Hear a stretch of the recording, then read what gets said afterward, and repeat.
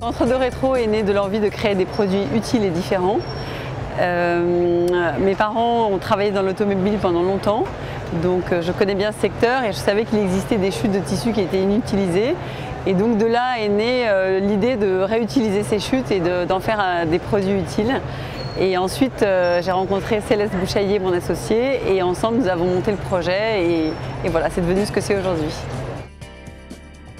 Entre deux rétro, on crée des accessoires qui sont à la fois élégants et pratiques. C'est vraiment notre envie de créer euh, du recyclé beau. Euh, et ensuite, nous puisons notre inspiration dans le domaine de l'automobile, dans les courses automobiles des années 50 et 60. C'est pour ça qu'on retrouve sur pas mal de nos produits un rond avec un chiffre qui illustre vraiment euh, ce domaine automobile.